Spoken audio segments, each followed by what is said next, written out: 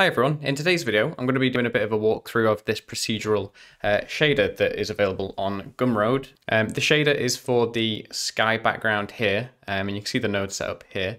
Um, I'll put a link in the description to the shader. Here's the shader on Gumroad. It is $4, but it saves you a lot of time um, setting up just really nice skies. You can see them animated here. Um, but if you want to download this, you can do here. It's $4. Uh, you'll download it and you'll get just a basic blend file, um, which this is that blend file. But what I've done is I've just put a little scene together just so we can we can see the clouds kind of looking quite nice with a bit of reflections and things like that. But once you open up the file, uh, you do get this, uh, there's a camera, the cloud, uh, the cloud sun, um, and then if we go over to the shader editor in the world tab, you get the nodes here. And um, we can just move that one out of the way. So really, what this is this is all driven by this sky texture here, which kind of helps you choose the lighting for the sky. Um, I'm just gonna press Control Z to undo that. Quite like how it's set up here.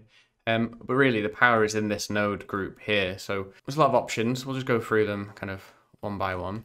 Um, I'm just going to move our camera kind of here just so we can see a bit more of the sky.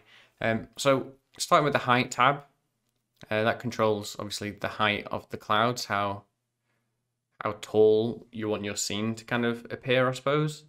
Um, you can bring them kind of all the way down, all the way up. Uh, with cloud scale, that kind of increases just how many clouds there are in the sky. That does raise the height as well, so you might need to then tune the height down. Cloud detail uh, kind of does what it says on the tin. Um, it makes them a bit more realistic or a bit more cartoony, depending on what kind of style you want. The cloud roughness is kind of how soft how soft they are. If you want more like, I don't know what the the right phrase is. It's a cumulus cloud when it's kind of soft like that. I, that's probably wrong. Uh, but you can make different cloud types with this, uh, the cloud roughness setting. Cloud coverage is just how much cloud there is actually in the scene. If you want a nice overcast day, you can do that here. The intensity controls kind of just how intense the clouds are, especially like how much the sun's affecting the kind of fringing of the clouds. Like here, you can see that.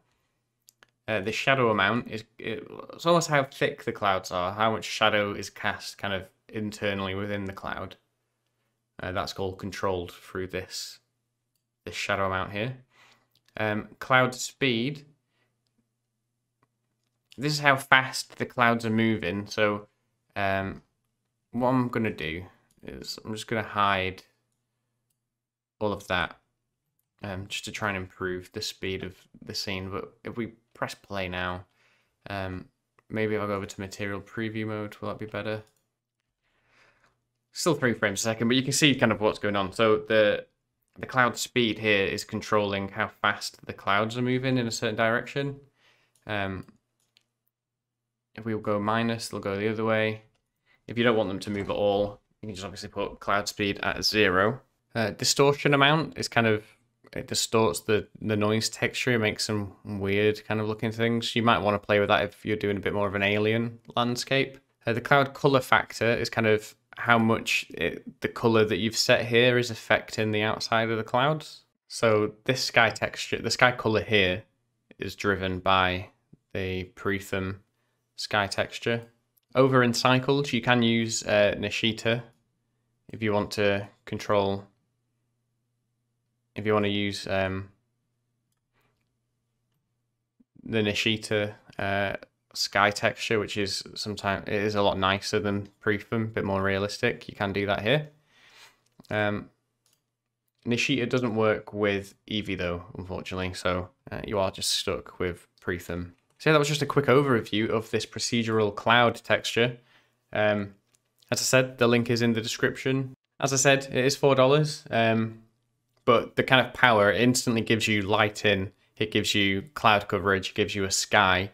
If you want to put a quick scene together, $4 is kind of invaluable to save you that time. You could do this all manually, but obviously it would take you quite a while. If you want to learn how, if you want a bit more of a tutorial on how I put the actual animation together with the water and the, the balls and the, the sky, um, I will have a tutorial on that out on my channel soon.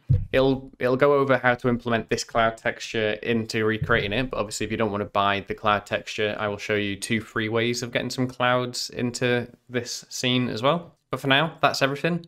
Thanks for watching. If you enjoyed this video, make sure to subscribe below. Um, you can hit the like button to let me know as well. And I will catch you in the next one. Cheers, bye.